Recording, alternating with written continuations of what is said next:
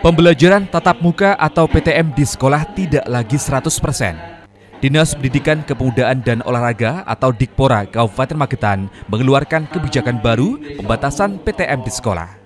Terhitung sejak tanggal 15 Februari 2022, pembelajaran tatap muka di sekolah hanya diperbolehkan maksimal 50% dari kapasitas ruang kelas.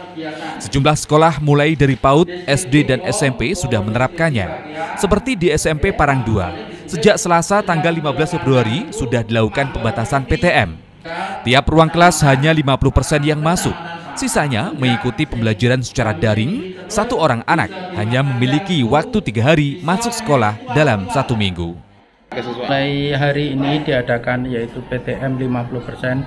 Ya, kegiatan KBM proses pembelajaran yaitu dibagi masing-masing kelas menjadi dua, yaitu ada yang 17 ada yang 26 bagi dua yaitu ada yang 13 berjalan lancar jadi anak-anak satu minggu sekali masuk tiga hari.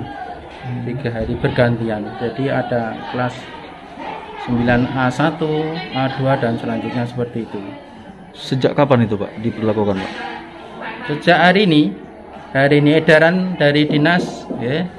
Kemarin langsung hari ini kita laksanakan PTM 50% kalau kalau untuk vaksin sebetulnya sudah pak vaksin ya mulai dari siswa itu sudah dua kali sedangkan bapak ibu guru juga sudah dua kali Pembatasan jumlah siswa yang masuk sekolah-sekolah dilakukan sebagai upaya mencegah penyebaran COVID-19 di Magetan.